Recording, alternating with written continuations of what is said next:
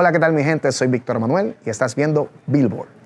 Mira, cuando me llamaron para decirme que vamos a estar eh, animando los premios, siempre hay un poquito de nervios porque te, saca de la zona confort, que es lo que yo hago todos los días. Pero también eh, me siento relajado porque yo creo que una de las cosas que yo he aprendido en el camino es que cuando te traen para algo es por tu personalidad, o sea que no tiene que exagerar nada. Yo lo que voy a tratar de,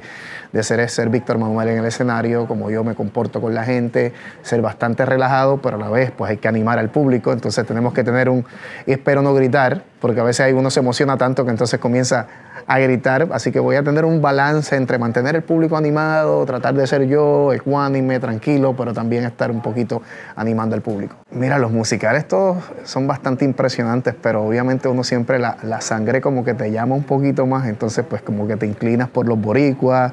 Estoy muy pendiente a lo de Adi Yankee, a lo de Osuna, eh, la nueva canción de Marc Anthony que va a estrenar, canción de salsa, o sea que vamos a tener salsa aquí en lo nuestro y una colaboración también que hizo Sergio George de muchos artistas que no son salseros que van a estar cantando salsa. Así que vamos a tener mucha salsa en estos premios. Esta vez no hay musical de Víctor Manuel, no, ni sorpresa, porque de verdad que estoy tan comprometido con el libreto, con todo lo que me tengo que aprender que no vamos a estar así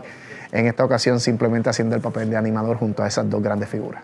Mira, Daddy Yankee, yo lo único que puedo decirte que aparte de, su música, que es la que conocemos todos, es una gran persona. Siempre que nos encontramos, ahora mismo, precisamente antes de aquí, de la, entrevista, nos encontramos en los pasillos, el abrazo, eh, una persona bien con los pies en la tierra. Yo creo que por eso también todo lo que tiene se lo merece, porque ha trabajado duro, pero ha sido una persona que se ha mantenido muy firme, eh, muy respetuoso a su carrera, un trabajador incansable y su música pues habla por sí sola. Bueno, pues le puedo decir que este jueves van a tener muchas, pero que muchas sorpresas. Me van a tener a mí también de host, junto a dos bellezas latinas increíbles, así que usted no se puede perder este jueves, pendiente a Premio Lo Nuestro.